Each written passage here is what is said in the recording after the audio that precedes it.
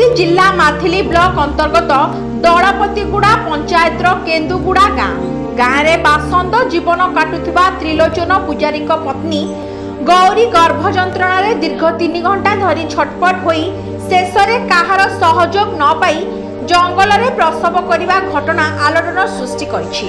ଏଭଳି ହୃଦୟ ବିଦାରକ ଖବର ଗଣମାଧ୍ୟମରେ ପ୍ରକାଶ ପରେ ମାଥିଲି ଥାନା ଏଏସ୍ଆଇ ଶଶିଭୂଷଣ ମିଶ୍ର ସଦଳବଳ କେନ୍ଦୁଗୁଡ଼ା ପିଲା ପହଞ୍ଚି ଗ୍ରାମବାସୀଙ୍କୁ ପଚରା ଉଚରା କରିଛନ୍ତି ତେବେ ଗୌରୀ ସୁସ୍ଥ ହୋଇ ଗାଁକୁ ଫେରିବା ପରେ ସରପଞ୍ଚ ଓ ଗ୍ରାମବାସୀଙ୍କୁ ଥାନାକୁ ଡକାଇ ଆଲୋଚନା କରାଯିବ ବୋଲି ଶ୍ରୀ ମିଶ୍ର କହିଛନ୍ତି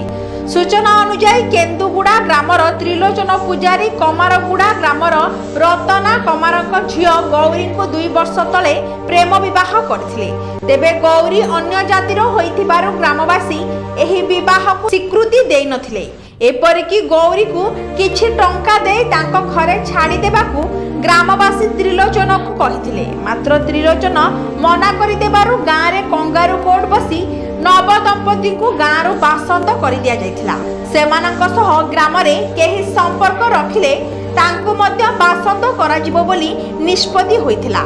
ଫଳରେ ଏହି ନିରୀହ ଦମ୍ପତି ଗାଁ ମୁଣ୍ଡରେ ଏକ କୁଡ଼ିଆ କରି ରହୁଥିଲେ মঙ্গলবার অপরাহ্নে গৌরী গর্ভ যন্ত্রণায় ছটপট হয়ে সহায়তা পাই নেহুরা হয়েছিলেন মাত্র বাসন্ত হেবা ভয়রে কেহি তাঁকু ছুঁই নথিলে শেষে গৌরী নিকট জঙ্গল ভিতরকু যাই যমজ সন্তানকু জন্ম দেইথিলে খবর পাই Kendugura আশাকর্মী Vijayalakshmi Tripathi ambulance driver Krishna Rao pharmacist Ramakrishna Swain ঘটনাস্থল